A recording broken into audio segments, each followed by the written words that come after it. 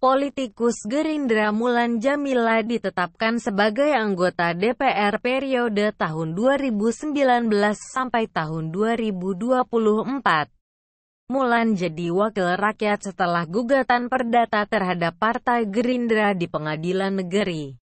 Jakarta Selatan dikabulkan Hakim Monsiur Partai Gerindra menjalankan putusan PN Jakarta Selatan yang bersifat final dan mengikat karena sudah inkrah dan setelah persyaratan administrasi dipenuhi.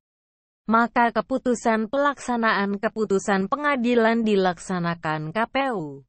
Ujar Wakil Ketua Umum Gerindra Sufmi Dasko Ahmad kepada wartawan. Sabtu, tanggal 21 September tahun 2019.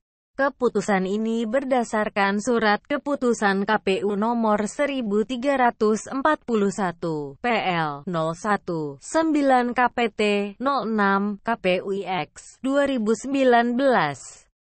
Dalam surat tersebut, KPU menetapkan Mulan sebagai anggota DPR terpilih.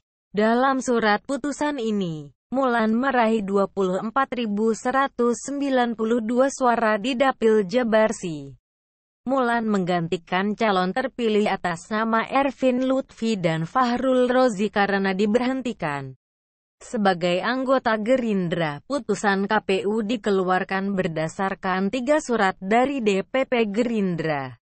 Surat itu bernomor 023 2019 tertanggal tanggal 11 September tahun 2019 perihal penjelasan Kedua soal langkah administrasi pelaksanaan putusan PN Jaksel nomor 520 PDT Susparpol 2019 PN JK Sel.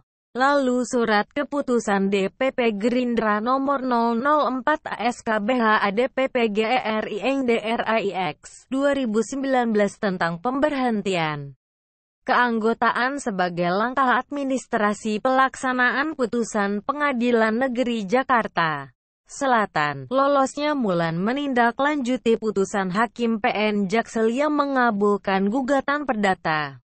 Mulan Jamila dan delapan caleg Partai Gerindra. Hakim menyatakan tergugat dan dua dalam hal ini Dewan Pembina dan DPP Partai Gerindra berhak melakukan langkah administrasi internal yang dianggap dituntut oleh para penggugat.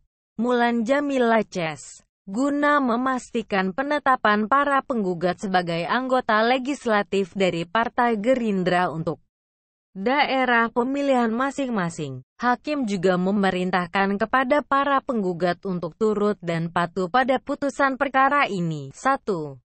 Mengabulkan gugatan para penggugat. 2 menyatakan tergugat I dan tergugat dua berhak untuk menetapkan para penggugat sebagai anggota legislatif dari Partai Gerindra untuk daerah pemilihan masing-masing.